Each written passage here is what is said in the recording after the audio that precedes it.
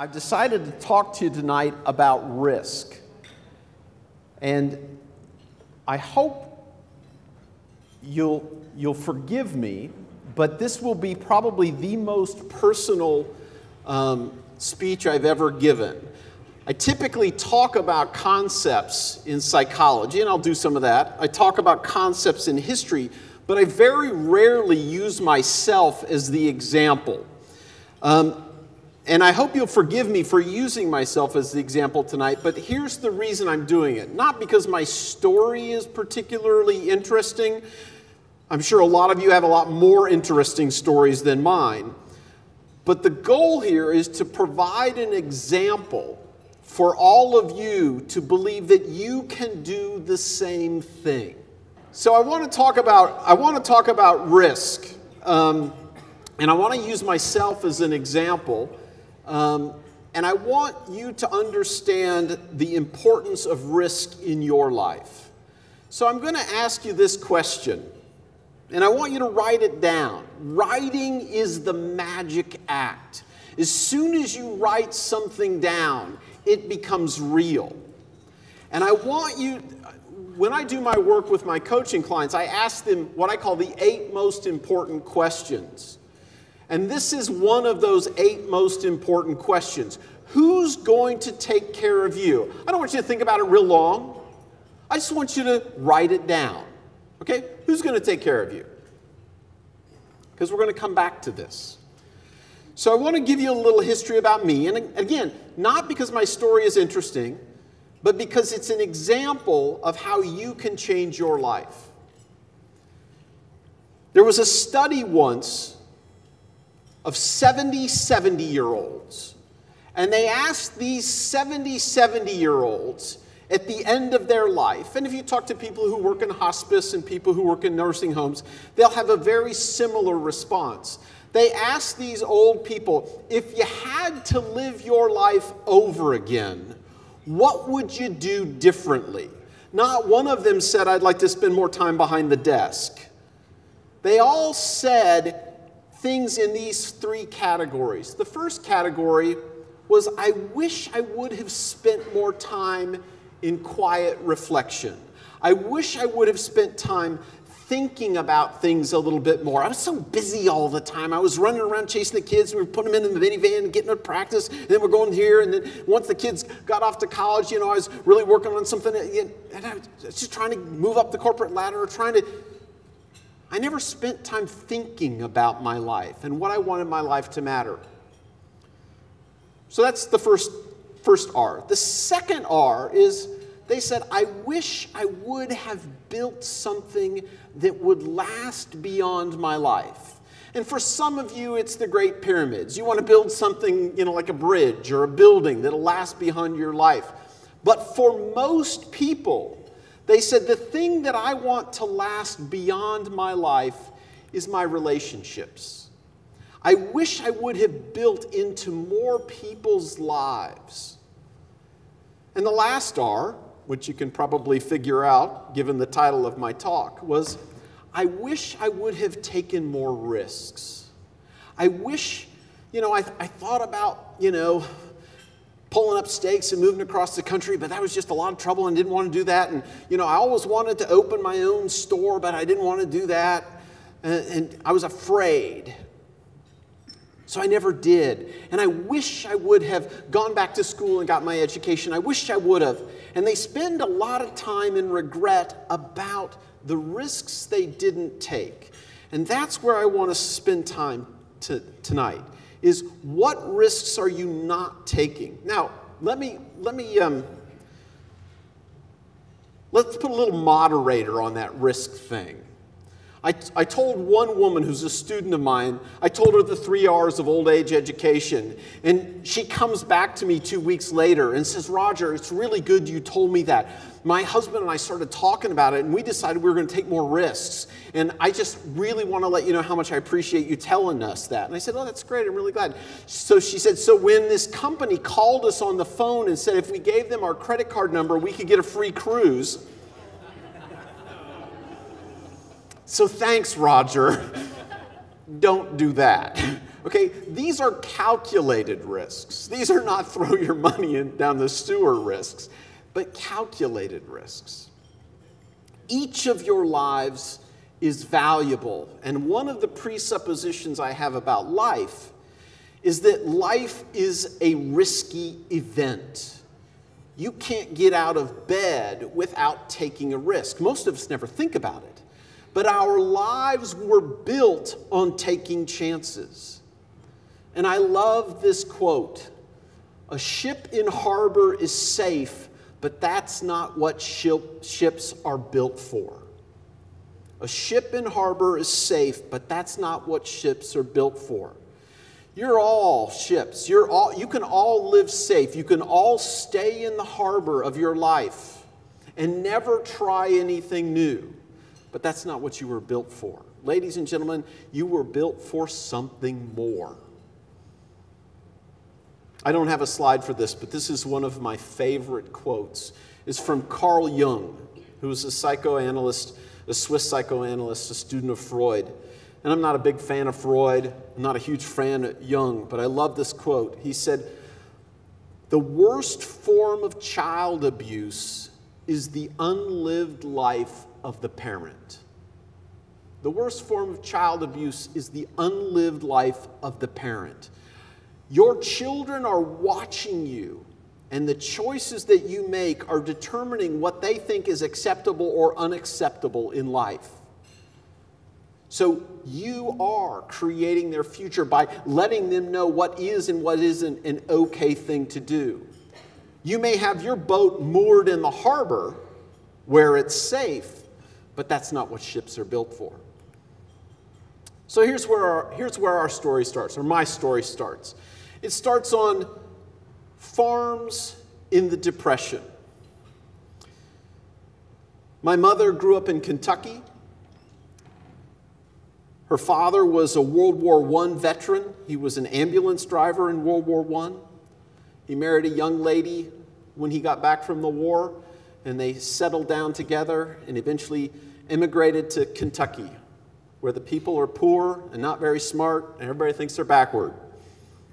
I lived in Kentucky for a while. It's not that far off. That's where my mom grew up. She was ashamed of being from where she was. She tried very hard to change her accent. They moved to Illinois, then moved to California, lost their life savings, moved back to Illinois in the Depression.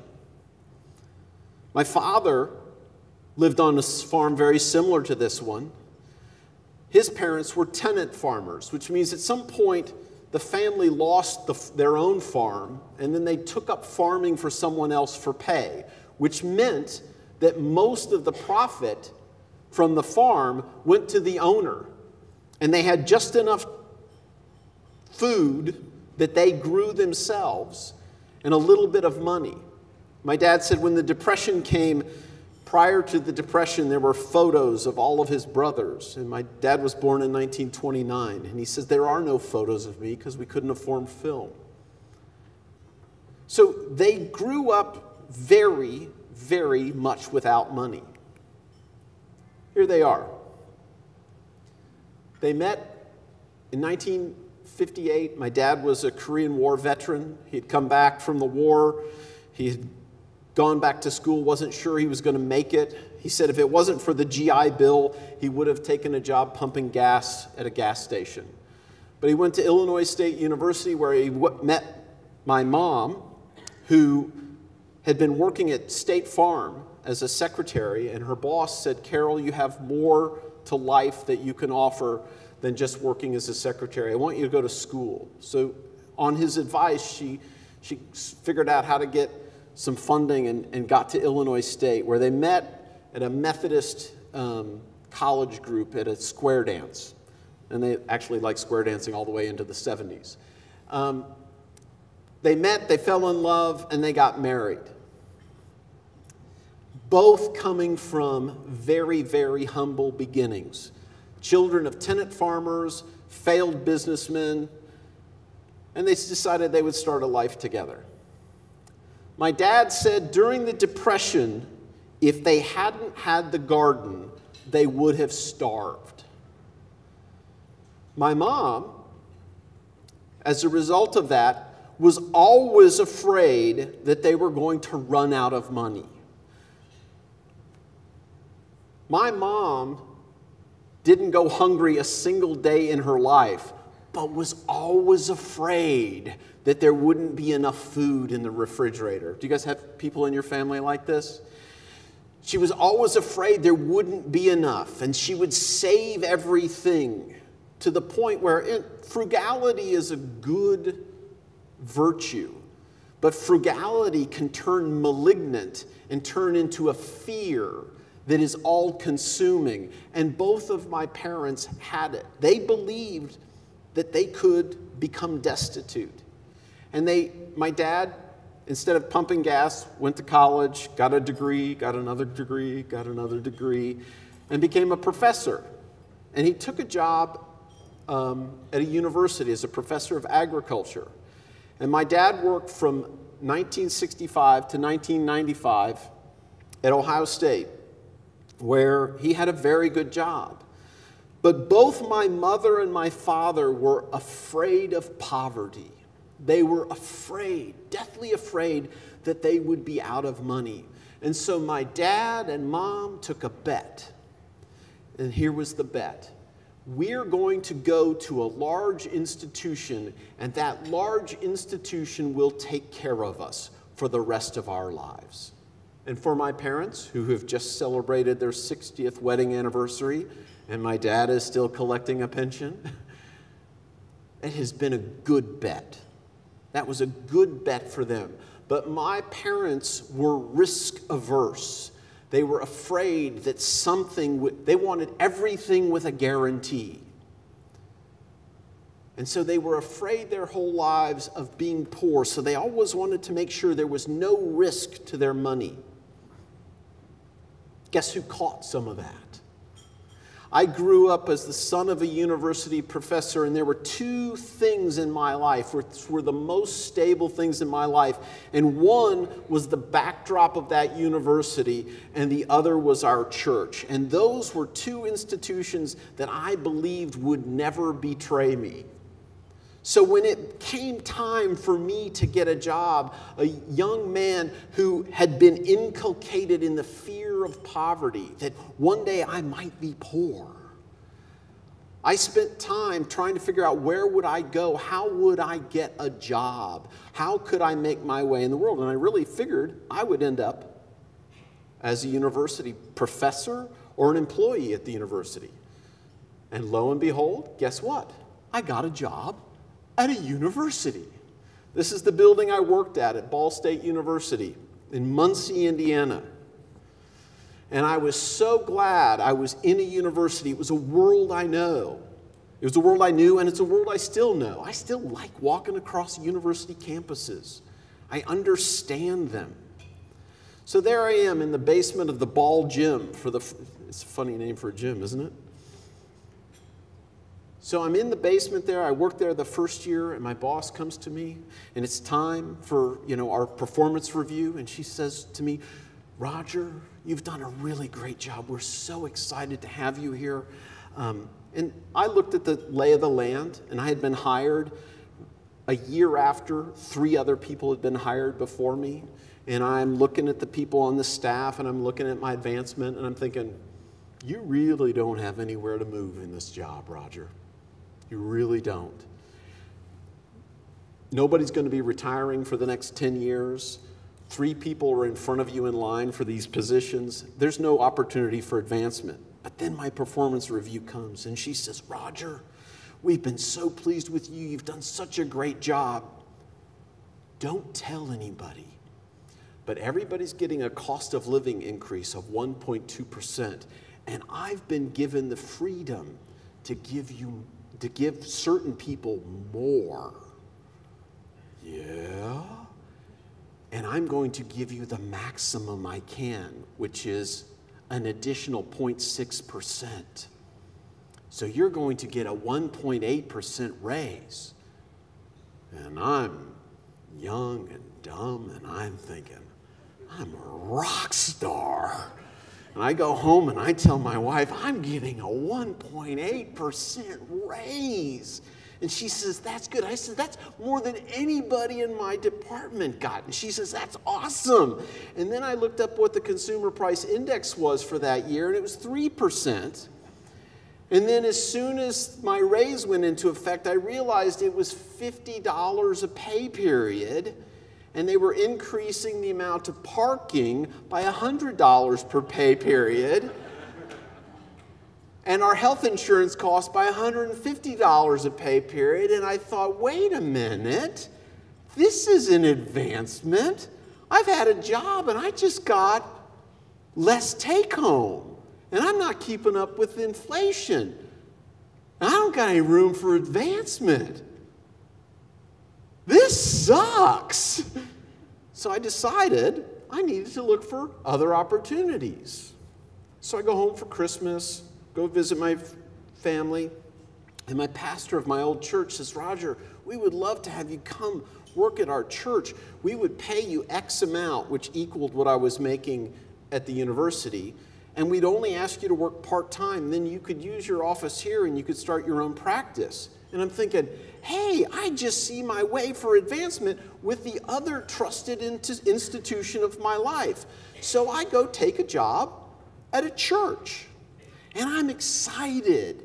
And so I get this job, and I'm, you know, I get to move back to my hometown, and my son gets to, my eldest son gets to be with his grandparents, and my wife, who's eight and a half months pregnant, you know, we're gonna have this second baby and I'm getting my stuff unpacked. And I walk down the hall and I talk to my boss, who's the senior pastor. and I said, So, where, you know, we talked about health insurance. You know, when am I going to get that paperwork? Because, you know, my wife is going to have this baby here any minute. And he looked at me and he said, oh, I didn't think you wanted health insurance. And I said, I just quit a job with health insurance, and we talked about, oh, I didn't think you were going to want that until after the baby was born. no, I want it now. Oh, okay, well, we'll get on that. I'll let you know. And I walked down the hall from his office, and I had an epiphany, which was no one will take care of me as much as me that my two trusted institutions in my entire life, the university was not going to take care of me, and the church was not going to take care of me. I decided I needed to take care of myself. So, what do you think I'm going to do with this job at the church? You think, okay, he's got a PhD, he's got an advanced degree, he's going to, he's going to make a good decision. How long do you think it took me before I left the church? One week? One month? One year? Two years? Maybe three? Four? Got to be five. No, it took me six years to leave the church. And you know why I left the church? Because they fired me. you really got to screw up to get fired by a church. And I got fired. And when I got fired, all of my friends said, This is the best thing that has ever happened to you. I didn't believe it. By the way, I got an advanced degree. It took me six years to figure this out yeah, I am not a smart man. You're all thinking it, so I'm just letting, you know, I'm just helping you out. It took me six years to figure out this wasn't going to work. Do you want to know why? Because I had the fear of poverty. I had a tremendous fear that I would be poor and that kept me in the false security of these two trusted institutions that I didn't want to get away from. Now, I don't think this is a particularly interesting story, and maybe you don't either. I hope we can turn the corner here to be somewhat more interesting. The reason I tell you this story is to give you an example that I had a belief that I have had since childhood, that it took me until my 30s to realize wasn't true, then how many years, ladies and gentlemen, did it take me to figure that out? Six before I could operationalize it, and they had to kick me out the door. So, what did I do when they kicked me out the door? What am I going to what am I going to? I'm going to look for another job. So I search high and low for another job. I got one job offer. One. After looking for six months, one job offer. And the job offer had a no compete, which I affectionately call the strangle your mother no compete clause. And they said to me during the interview, Oh, and just to let you know, we have sued two people into bankruptcy when they tried to go against this. And I'm thinking, boy, you sound like a real friendly organization. so I passed. I decided not to do that. I decided instead to open my own practice. And again, we got a little. Yeah, overcoming fear. So, why did it take me six years? Why did it take me six years?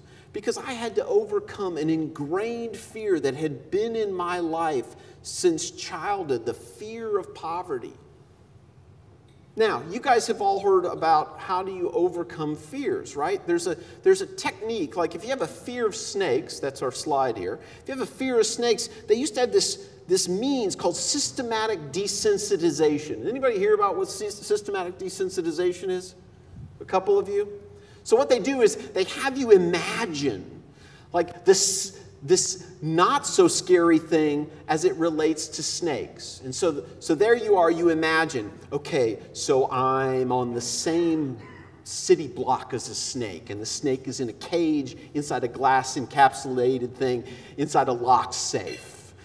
Okay, I don't feel too bad. But then you increasingly imagine getting closer and closer to snakes. Okay, I'm in the same room as a snake. Okay, I'm sitting next to a snake that's in a cage. Uh, and those of you who don't like snakes are not going to like this part of the talk. And then, I, then I'm sitting, and the snake is out in the room being held by somebody who knows how to handle snakes. And then, well, now the snake is next to me, and then you imagine that you're holding the snake. Okay? And then they, what they do is, is they have you imagine these progressively more aggressive snake images and then do like this de- deep cleansing breath and relaxation and go to your happy place and all that crap. Because it is. Do you know what they found when they put people through systematic desensitization? Do you know what cures people of the fear of snakes? You want to take a guess? Handling real snakes. That's how you get over the fear of snakes. Well, I had the fear of poverty, and I had never touched poverty. I'd always had a steady paycheck, I'd always had insurance, I'd always had everything taken care of. And then it all evaporated. And I didn't have a steady paycheck, and I didn't have health insurance that I wasn't paying for for myself. I didn't have any of that security. I didn't have a retirement account that anybody was going to contribute to except for me. And who was going to take care of my three kids and my stay at home wife? Well, I guess no one is going to take care of me more than me. So let me tell you how I overcome that fear. I'm going to show you. This is a picture of my office 37 West Bridge Street, Dublin, Ohio, the old firehouse. I'd go in that, uh, under that second awning, that middle awning there, and I'd go up to my little office. And then I'd wait for clients to come in, and they would come in. I started out as a clinician, I didn't do the work I do today. And there I'd sit and I'd wait and I'd talk to a person for 50, 50 minutes, and they'd write me a check for $85. And they'd leave, and I'd give them enough time. And then I'd get in my car and I'd drive 0.7 miles to the bank. I would sign the check, deposit, put it in, look at my account balance. Okay, I got enough money right now. Then I go back to the office, and then the next client would come in, and they would write me the check for $85, and I'd wait an acceptable period of time. They'd leave, and I'd drive back up there. I went to the bank as many as four times a day because I was so afraid of running out of money. Got to make sure it's in there. If I just dump it, if I, if I just dump checks in four times a day, I'll have enough money. And I watched that money like a hawk. Anybody ever had times when you've been like that? where you've gone to the bank? Anybody here gone to the bank four times in a day just to make sure they had enough? Just, oh, it's just me. I made that little trip a lot, depositing back and forth because I had the fear of poverty. Anybody in here have the fear of poverty? Afraid that you're going to run out of money or have been at a spot where you've been so low on money? All of those trips, 1999, 2000, when what happened in 2000? The dot com crash. Kept going, kept, kept figuring it out. Every day I'd wake up and figure out how do I make money and make that little trip back and forth, back and forth. What did that little trip do for me? What it did was it changed my brain.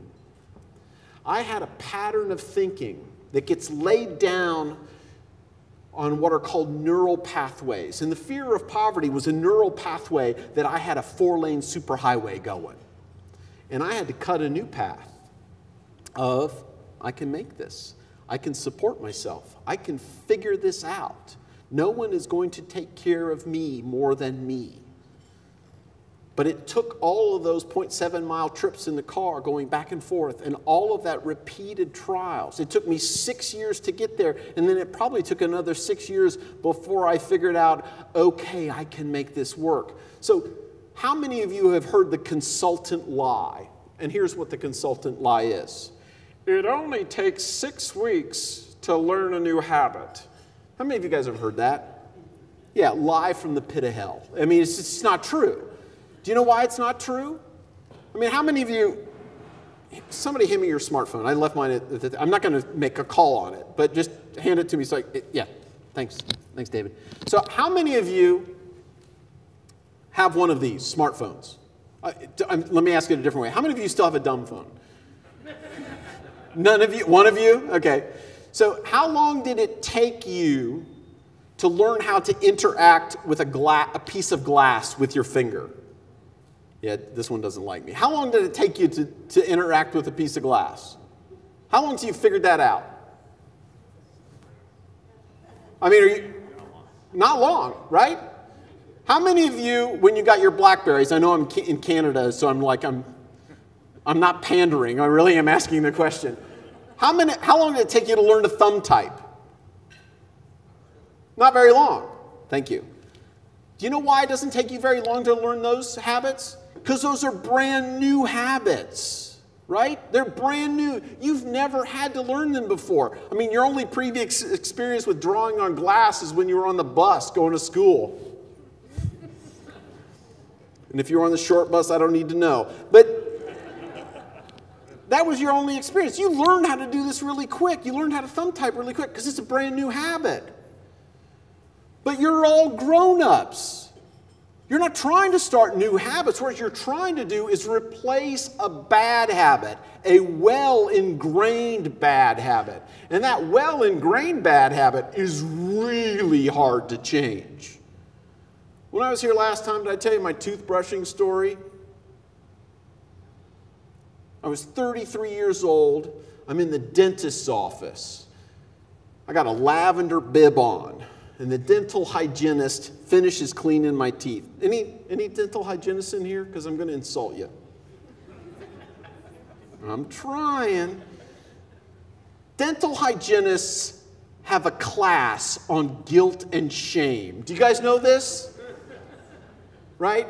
This particular dental hygienist had taken the advanced class. So there I am, and she says to me, well, you see, as, as I look at your teeth, I can see by the buildup on your, on your teeth of the plaque that you're a scrubber. Like I had just pushed an old lady down the stairs.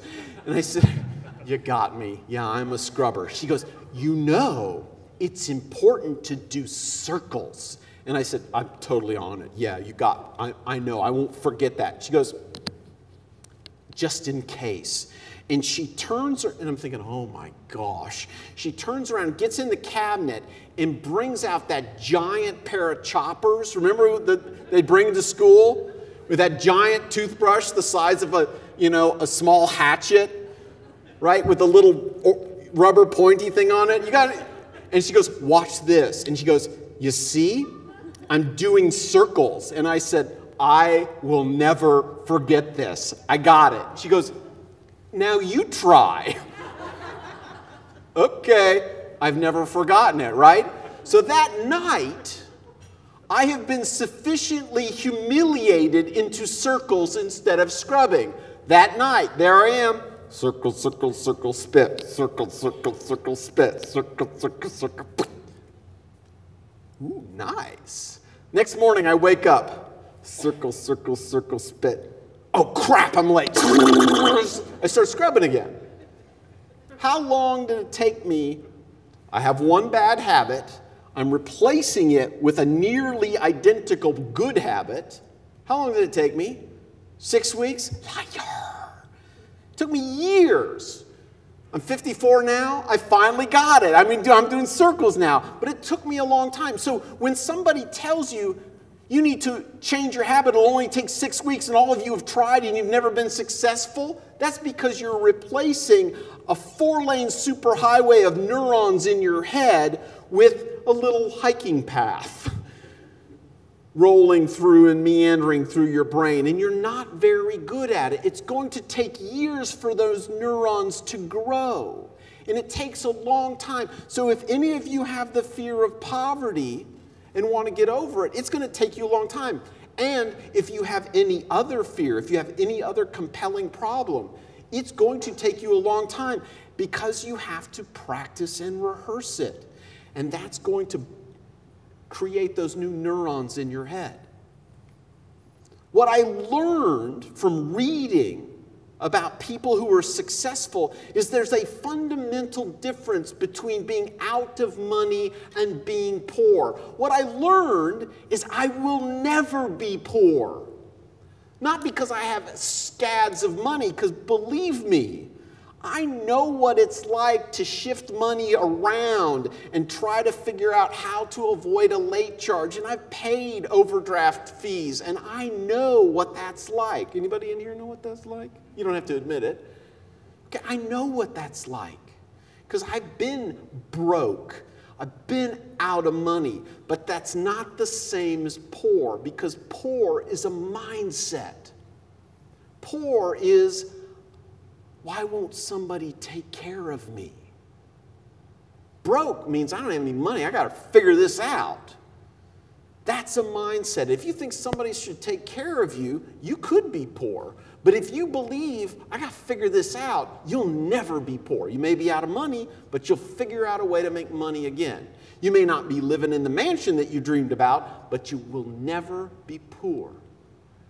That was a mindset that took years for me to change. Someone who went 30 something years of his life with one set of beliefs, it took about a half a dozen years for me to figure out that's not it. And then I stumbled across this book. And how many of you have ever heard of Herb Cohen? He was a strategic arms limitations talk negotiator, a hostage negotiator. He negotiated multi million dollar media deals.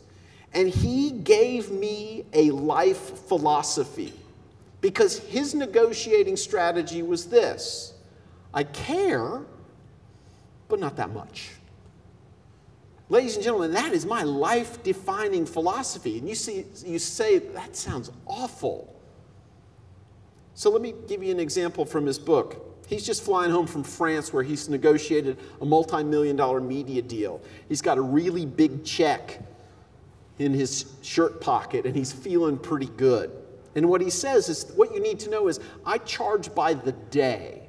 I don't charge a percentage of the deal. I charge by the day. So if my client does well, it doesn't really matter because I'm getting the same amount of money if my client doesn't do well. It's just, it's a day rate. So I care about the outcome, but not that much. And guess what? He usually won because he didn't care too much about the outcome. So he walks into his front door. He's greeted by his wife and his daughter who say about his 11 year old son, You need to do something about that kid. And he's like, What? Oh, Mr. Master Negotiator, think you're such a big deal. You can't even get an 11 year old to clean your room. Who? What if the media picked up on this? Mr. Famous Negotiator can't get his son to clean the room. He says, Well, I'm going to do something about that. He says, I marched back to my son's bedroom. This was no longer about his bedroom, this was about my legacy. How do you think that negotiation went? His 11 year old cleaned his clock because he wanted it too much. He cared too much about the outcome. Now you're saying, well, that seems like a pretty apathetic life. But if you're a Buddhist, you say, well, that's the middle path. That's non attachment. If you're a Christian, you go, oh, that's thou shalt not covet. Coveting is wanting something too much. By the way, if you look at the Ten Commandments, it's the only one that has no external behavior. The first one, love the Lord your God with all your heart, soul, mind, and strength. That one, there's nothing you can see about that. The rest of them have behavior until the last one, which is covetousness. You shall not want that that much. That's kind of what covetous means. So the 10th commandment is you should care, but not that much. So I have a pen in my pocket. It's a $30 pen. If I decide I can't lose this, this is the most important pen in my life, this, this is everything to me, what does this become? This becomes my idol, my precious. I love my pen. This controls me. And if I allow this to control me, this will get me into trouble. But if I say, hey, Dave, you want a pen? Thank you. You're welcome. Maybe, could, could I have that back? It's a kind of different pen. Could I have my pen back? Oh, okay. but here's the deal if he said no, I would say, okay, enjoy it in good health. I can go buy another. This doesn't make me happy. And what happens is that if you want something too much, you believe that thing, that experience, that relationship can make you happy. It can't. It won't. I mean, it might entertain you, it might be pleasant, it might be beneficial, but it won't make you happy. And so I learned in that space of six years of rewiring my brain, telling myself, if I want something too much, if I become too attached to something, it will own me. And my attachment to not being poor owned me. And it was when I gave that up and I learned, oh, it, it doesn't have to own me, it doesn't have to define me, I can figure this out. That's when I got freedom. And having that life philosophy of not wanting things too much is the secret to power and freedom. You want power and freedom in your life? It's about attacking that fear of poverty, taking those risks. Now, don't go give your credit card to people on the phone who are going to give you a free cruise. But your secret to power and freedom is caring but not that much, realizing that things outside of you do not have to control you. So, the number one fear that gets in the way of people's success is the fear of poverty. And I had it in spades. And the other fear that gets in the way of all of our abundant lives, lives is coming up in a minute. But I want to tell you this why is it that we have so much difficulty with change? We hate to change. We're always afraid of change or we're upset by change. So I'm going to ask you a question. How many of you guys ever watched old westerns? You guys ever watch old westerns? The old black and white westerns from the 50s, early 60s? Yeah, maybe some in the 40s. You've probably seen this. So when I was a kid, growing up in the 1970s in central Ohio, we had four stations. I don't know what it was like here in Manitoba. We had four stations. We had ABC, CBS, NBC, and PBS. I'm like 11, 12 years old. I'm sitting on a brown beanbag chair with a bag of Doritos on, or Fritos on my chest. Saturday morning in February. It's too cold out to play, right? My gloves are wet, so I'm in there watching TV. So it's February. What's on CBS? Well, in the 70s, it was the Los Angeles Lakers, Kareem Abdul Jabbar, Skyhook. Do you guys, anybody remember this? You kind of knew how it was going to turn out. The Lakers were going to win, the Lakers were going to win, so there really wasn't any reason to watch. Change the channel. Oh, you didn't have a remote. You had to get up and turn it. So you turn to ABC. Well, ABC, there was hope because there was this show called The Wild, Wide World of Sports. Does anybody remember this? Okay, so it's February, so I got my fingers crossed that it's the guy on ice skates jumping over the barrels. Did you guys see that? Please, please let it be. No, it's ice dancing. Oh, I'm an 11 year old boy. I don't want to watch people going around in circles dancing on ice skates. Turn the channel, go to the PBS channel. What's on PBS? Opera. Say no more. I'm on NBC. What's on NBC? It's this Western. And I know you've all seen it. Do you guys, you, so here's how it goes bad guy with his group of other bad guys rides into town. What color is the bad guy's hat? It's black. He rides into town. He's always got a Mexican wearing a sombrero. He's got the double bandoleros, right? He's got two six shooters. They all ride into town, right? You've seen it, right? They're shooting up the town. They shoot the water barrel. What happens? The water, okay, so they throw stuff through the, the bar window. People are hiding behind stuff. You guys have seen this, right? They shoot up the place, they rob the bank, they're riding out of town. And only one man is brave enough to chase him, and it's Jeb. What color's his hat? White. You've seen the movie, right? So he gets on his faithful horse, Suki, and they gallop off, riding after the bad guys. Now, I got a question. You don't have to answer this with a show of hands, but how many of you ever shot a gun, a handgun? Okay. How many of you ever ridden a horse at a full gallop? Okay. How many of you ever shot a handgun while riding a horse at full gallop? Oh, no. Okay. So here's, I see you. Yeah. So here, here's how it goes. Jeb draws his six shooter. This is how he's really be going, shooting everywhere. Jeb draws out his six shooter and boom, squeezes one off. Who does he hit? The Mexican. You've seen the movie. They always shoot the guy from out of town. You knew it. Okay, so that, that guy falls off. And the head of the, uh, of the bad guys, we'll call him Bart, he turns around and over his shoulder a full gallop, because you've seen the movie, he squeezes off around and he shoots Jeb. So where does he hit Jeb? Uh, not the hat, no, it's the shoulder, and it's always the non dominant shoulder, right? It's never right between the eyes. It's never gut shot. It's always, you know, it's he wings him in the non-dominant shoulder. Jeb falls. So you've seen the movie, okay? Jeb falls off his horse. The bad guys get away. At this point, I don't care that the bad guys have gotten away. What I care about is what does Suki do? Okay, you've seen the movie. What does she do? She turns around, right? And she gallops back to the barn. And then there's an old geezer with a pin in the front of his hat. He's got suspenders. Hey, Suki's all lathered up from a run. Where's Jeb? I don't know. Let's get a posse and find him. Right? You've seen the movie. Now here's my question. Why does Suki go back to the barn? Because that's where the food is, right? But here, think about her life.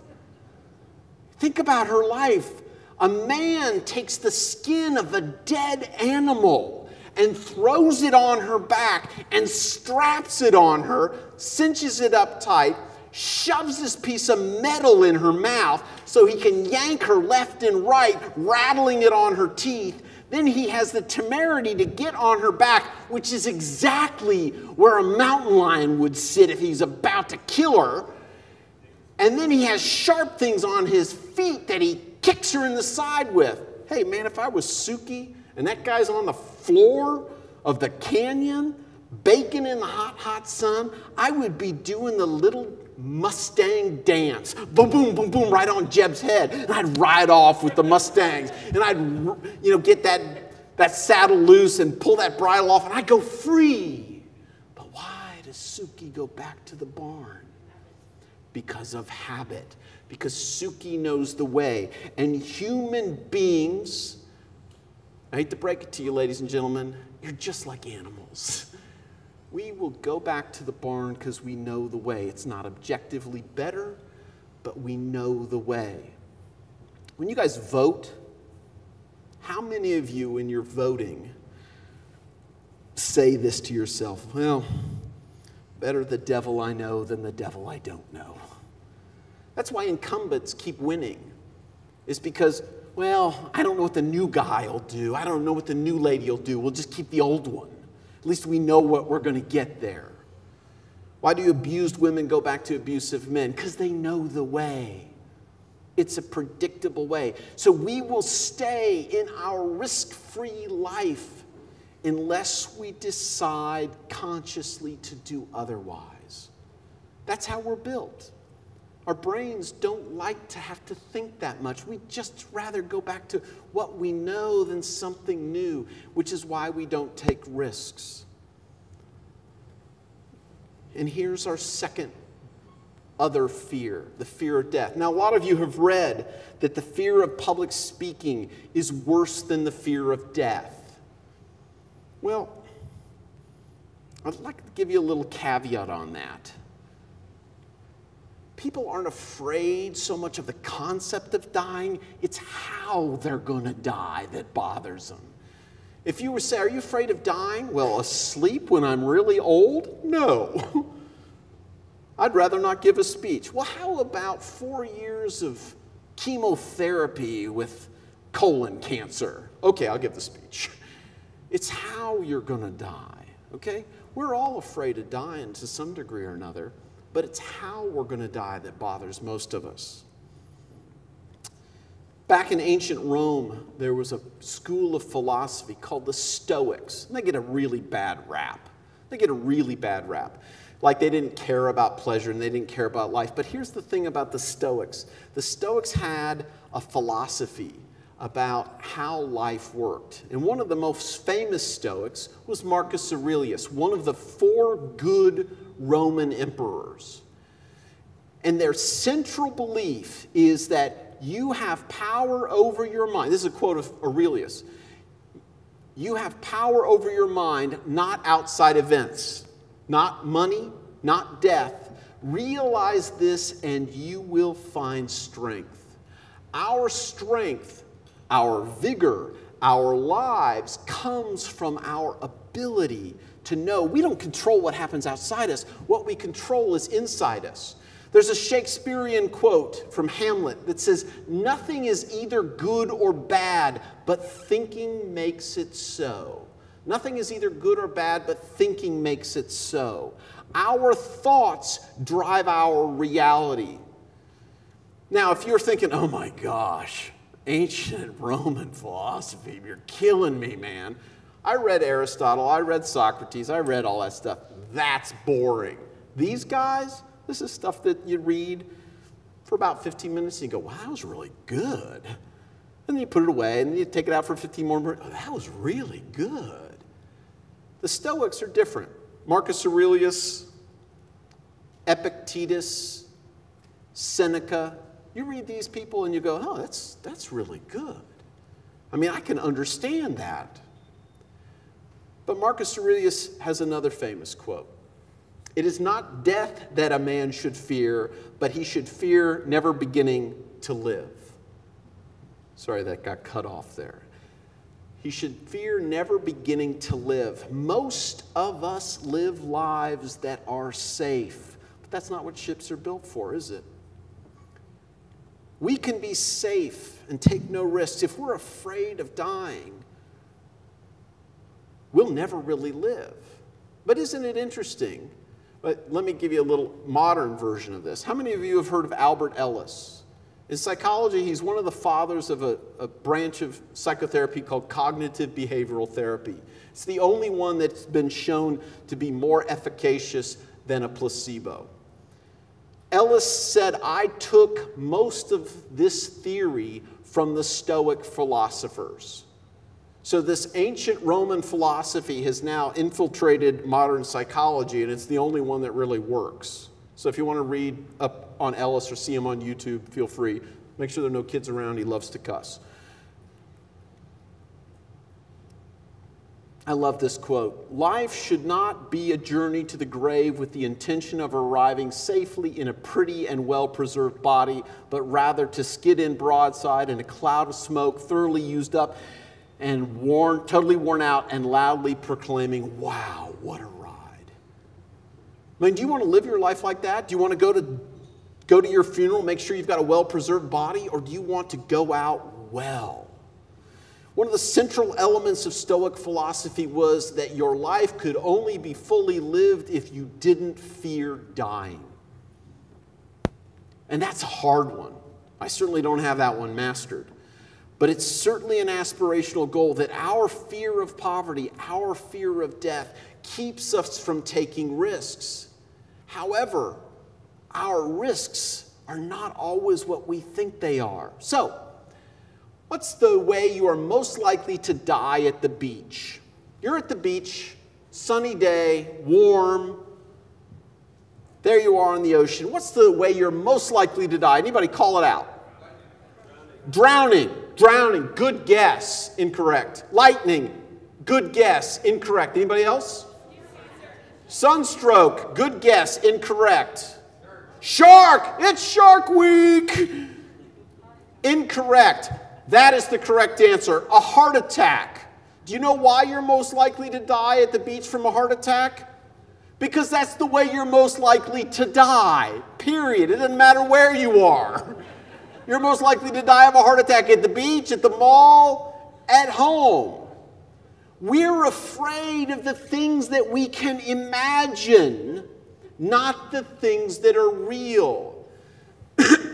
You're afraid that Jaws is going to come up and bite you in half at the beach as you're eating that double cheeseburger, extra fries with mayo on it.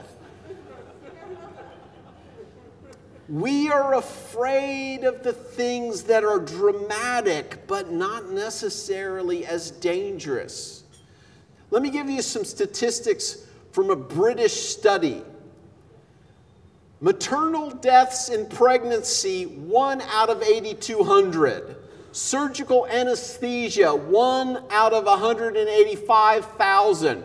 Look at rock climbing. Most of you think, man, I wouldn't do that. You fall off a cliff and die. One out of 320 climbs. What that means is that you're almost twice as likely, 1.7 times more likely to die in surgery and about 70 times more di- likely to die because of your pregnancy than you are on rock climbing. But a lot of you will say, I'm afraid of heights. I would never do that. You're afraid of the wrong things. And as I was telling somebody at dinner, I think about statistics and probability all the time. We are afraid of the dramatic things we think risky are the dramatic things that we can think of. So, what's the new smoking? Sitting, and you're all doing it right now. Okay, so we are all at danger of a known risk when we are doing our normal behavior, but we won't do something different because it seems risky, because our imagination is so vivid, we think of those other risks. Those are the things that keep us from living a full and abundant life. We have these active imaginations that keep us from trying something new.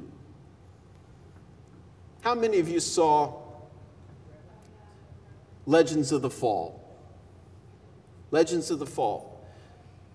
The narrator of, of the movie is a character, Native American character named One Stab. And he's talking about the protagonist of the movie. He said, Every warrior hopes that they have a good death, that a good death will find them.